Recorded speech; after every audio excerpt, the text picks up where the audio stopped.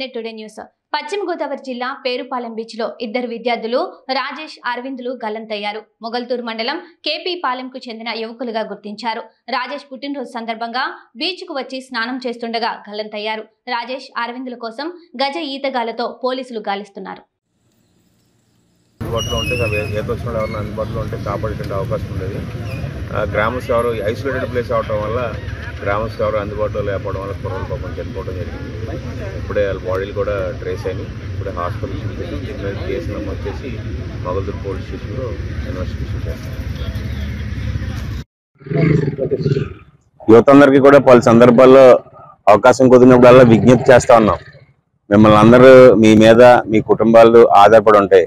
మీరు హ్యాపీగా ఉంటే మీ ఫ్యామిలీ హ్యాపీగా ఉంటుంది.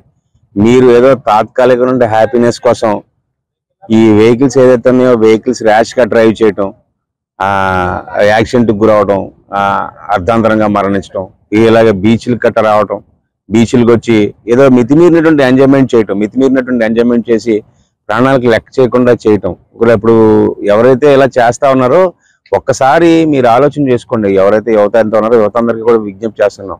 మీ మీద మీ తల్లిదండ్రులు ఎన్నో ఆశలు పెట్టుకుని ఎన్నో వాళ్ళంతా వాళ్ళు సంపాదించిందంతా మీ మీద వెచ్చించి పాపం వాళ్ళందరూ మిమ్మల్ని చదివించి మీకు ఏదో మంచి భవిష్యత్తు ఇవ్వాలని వాళ్ళు ప్రయత్నం చేస్తూ ఉండటం జరుగుతూ ఉంది.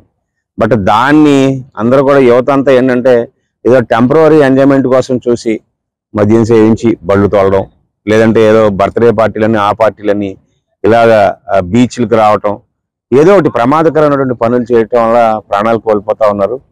మీరు కోల్పోతే మిమ్మల్ని కోల్పోతే మీ కుటుంబ పరిస్థితి ఏంటి అనేది మాత్రం ఒకసారి అంత యువత ఆలోచించండి. దయవుంచి అటువంటి వాటికి దూరంగా ఉండాలి. ఎంజాయ్మెంట్ అనేది లిమిటెడ్గా ఏదో లిమిటెడ్గా ఉండాలి తప్ప ఇలాగ అన్లిమిటెడ్గా చేసి ప్రాణాల మీద కొని తెచ్చుకోవద్దని చెప్పి యువత అందరికీ కూడా విజ్ఞప్తి చేస్తాను థ్యాంక్ యూ.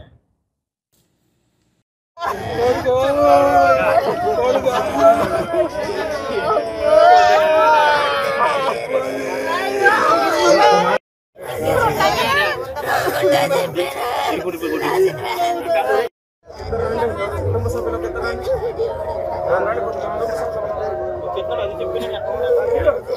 cuenta!